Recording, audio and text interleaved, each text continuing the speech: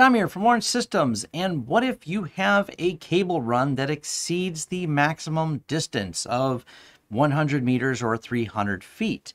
Well, this Cat6 cable has no problem, of course, doing that 100 meters or 300 feet.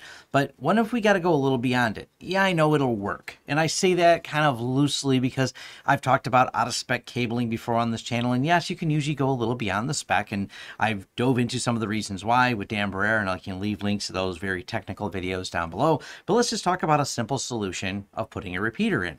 Now, I've talked previously, and I'll leave a link to it, of using the Gamechanger cable for being able to break that 100 meter, 300 foot limit. But what if there's an easier way. When you have an existing run and someone says, hey, that run that's at that distance, can it go, I don't know, maybe another 100 meters? That's where this device comes in. This is the MikroTik GPeR. So I went ahead and bought one because many people had asked me about them and I actually was not aware of them. So thank you to those of you that commented and uh, brought these up and tagged me on Twitter. Pretty cool little device. It's pretty inexpensive here. This is not sponsored or endorsed anyway by MikroTik. We bought these off Amazon. Links will be down below. Before we dive into the details, if you'd like to learn more about me and my company, head over to lawrencesystems.com. If you'd like to hire a share project, there's a hires button right at the top. Network design and network consulting. A lot of what people hire is for. If you want to support this channel other ways, there's affiliate links down below to get you deals and discounts on products and services we talk about on the channel. And yes, there's an Amazon affiliate link to get one of these devices.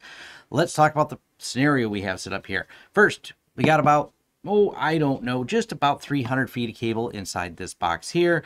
And I didn't have another half empty box or even 500 foot box. We only had 1,000 foot box in stock. So I just linked together an additional 150 feet in cable. Now, for this test, we've got this plugged into a USG PoE switch and uh, I got a camera, UniFi PoE camera, but I've also tested this with the UniFi Wi-Fi. Now, one of the things that happens right away here is, of course, at this distance, it breaks. As in, the PoE light comes on when I plug this camera in, but uh, no actual camera working. So I'll get a little PoE link light, but camera never links. It sits there for a long time trying back and forth and the drop off of this distance is just too great for it to be able to be functional. No need to actually sit down and watch it try. It doesn't ever solve the problem. So that's where this device comes in and this is the GPR Gigabit passive Ethernet repeater. It's as simple as it sounds. Yes, it does gigabit. Yes, it's passive.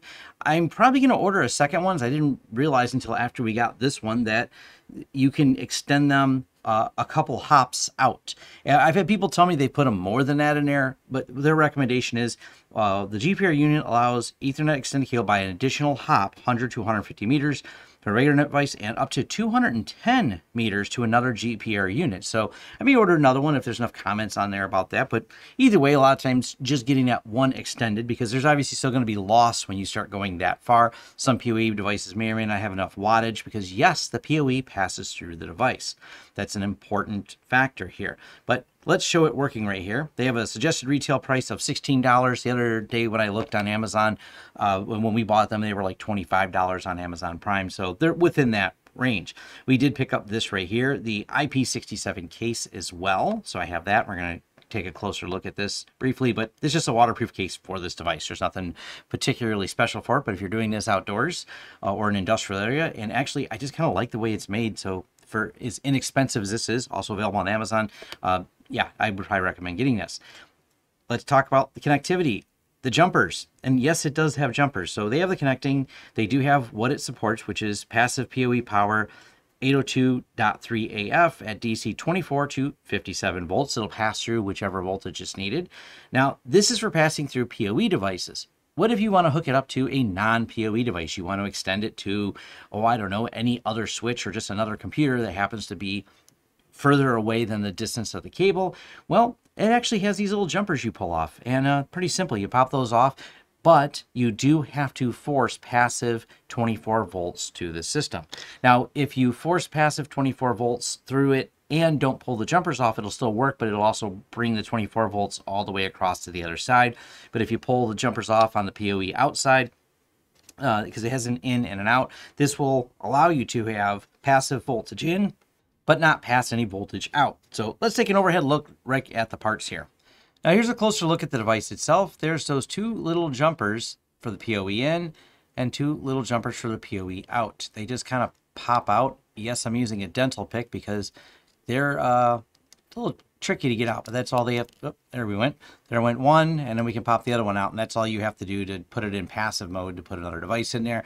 But they do have a note in the documentation, note which way the jumpers go. They go this way and not this way across. So no big deal there. Now, from an overhead look on it, there's nothing really on the back side, and we just have RJ45 ends on each side. Now, as I stated, this pile of cable right here exceeds the distance that this camera will work. So we're actually going to set the camera up right here and get this plugged in. And it's just on a 3D printed stand. Someone will probably ask if I will find the link that we 3D printed this stand for this unified camera. Uh, this is now our little lab camera that we do for testing. But we're going to go ahead and plug this in and we find the end here of this cable. And we're going to take this little jumper. So to give you an idea of the distance, first we went the 300 feet, 100 meters on this box here. We're going to take this and PoE in because the PoE out is here. So it goes in through the box over to here and we'll go to PoE in. All right, nothing lights up. And I want to point that out right away in case you're wondering if it's broke. Unless you're forcing the PoE in, nothing lights up until you plug in a PoE device at this end, or you force passive 24 volt into this device. So now we're going to plug it into our extra 50, 100, 150, 200. We have 200 more feet of cable right here. Uh, yes, it's been kind of just put together with a, this is all some prefab cable with just a few connectors, but hey, don't worry. We tested this for a while. It's been running uh, since the other day and it works perfectly fine. This does get slightly warm. Now let's take a look again at the overhead and we see the first light come on. And after a moment, when the camera lights up, I just heard the camera go click. I'm pretty sure it won't pick that up in a second. You're going to see the other light that confirms it negotiated and is now passing through the power needed to run this camera. And uh, Yep, there we go. Now it's passing data. So that's it. There's nothing, no other lights on this. There's no lights on the end of it. The only lights are right here. But it's actually really handy having them in the middle right here. And there we go. The camera's working. So you see me moving the camera. It's pointing at the studio. Point it back at me. There's a little bit of a delay. Uh, we can have it looking down at what it's connected through. And that's really it. It's that simple to get that extra range. It's it's a dead simple device, out of the box, no configuration really to do.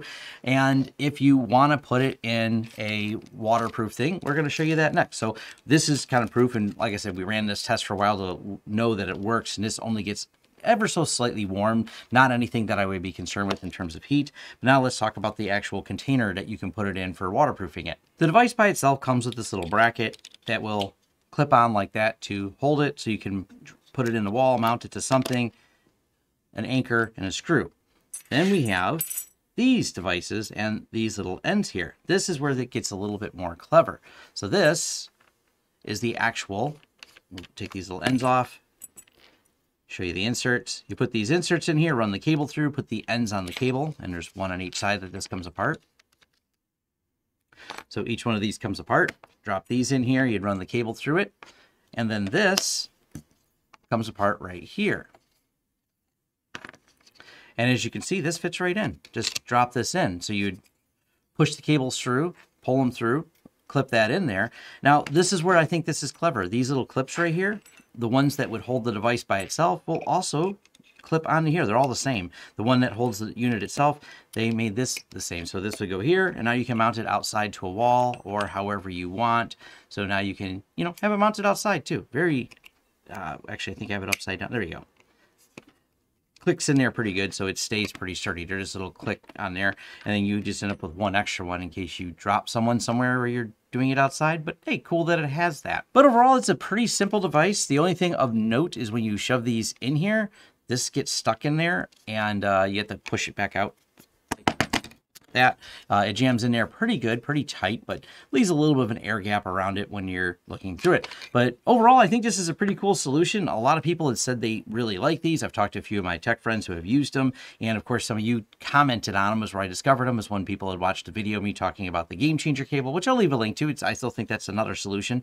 But if you want to take something like this, you have this extended area you got to go through, and you want to go that extra distance and have the PoE go through, I think this is a pretty cool solution for that. So I want to turn a few people onto it. Uh, this is Tom Lawrence, and you can find me over in the forums or uh, comment down below on what you think of this, or maybe tell me about your use cases you have for it. All right, and thanks. And thank you for making it to the end of this video. If you enjoyed this content, please give it a thumbs up. If you'd like to see more content from this channel, hit the subscribe button and the bell icon. To hire a Sure project, head over to lawrencesystems.com and click on the Hire Us button right at the top. To help this channel out in other ways, there's a Join button here for YouTube and a Patreon page where your support is greatly appreciated. For deals, discounts, and offers, check out our affiliate links in the descriptions of all of our videos, including a link to our shirt store where we have a wide variety of shirts and new designs come out, well, randomly, so check back frequently. And finally, our forums. Forums.lawrencesystems.com is where you can have a more in-depth discussion about this video and other tech topics covered on this channel. Thank you again, and we look forward to hearing from you. In the meantime, check out some of our other videos.